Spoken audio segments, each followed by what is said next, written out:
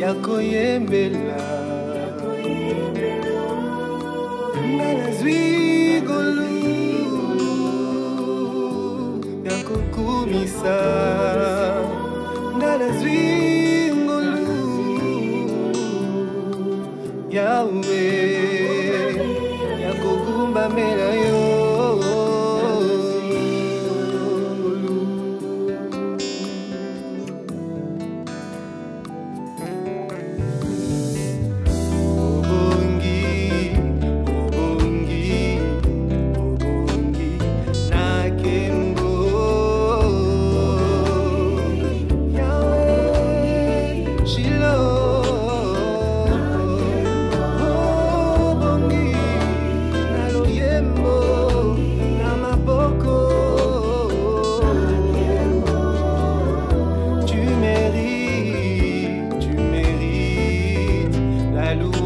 l'adoration, les acclamations, tu mets.